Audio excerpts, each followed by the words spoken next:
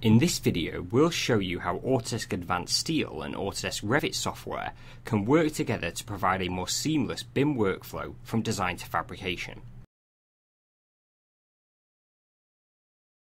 The process is fairly simple. Use Revit to design your model.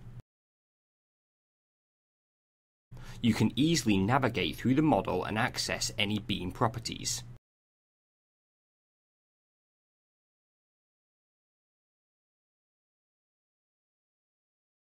Then just go to the Add-in ribbon to access the Advance Steel Revit plugin.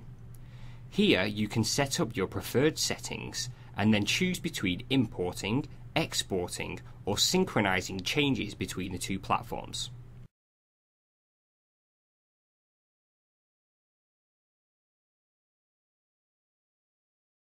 In Advance Steel, you can then import the file from Revit by pressing the import icon.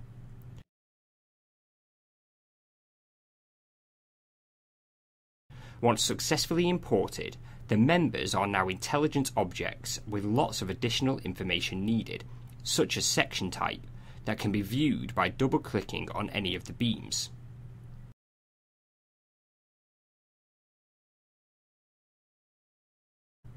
The person using Advance Steel can now begin the creation of all the steel connections, or they can adjust the imported model in any way if required.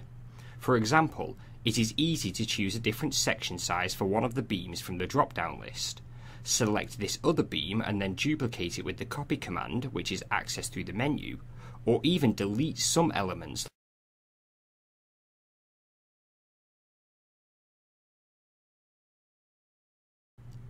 The Advance Steel user can also use the automatic tools available for stairs and railings and create a railing on the side of the platform. Thanks to the graphical representation within the properties dialog box, it is easy to go through many different possibilities and adjust the railing as required. Once the model is complete, it is easy to export it back to Revit.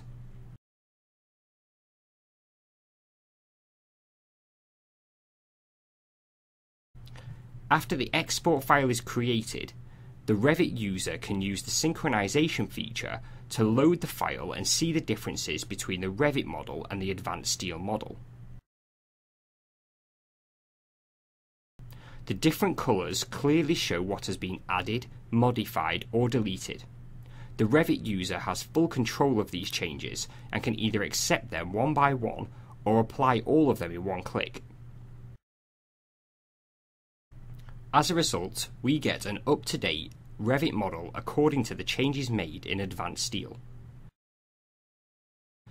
This movie demonstrates how you can work with the design model to reduce model redraw and increase your productivity on any project by synchronizing changes applied to the Revit model or to the Advance Steel model.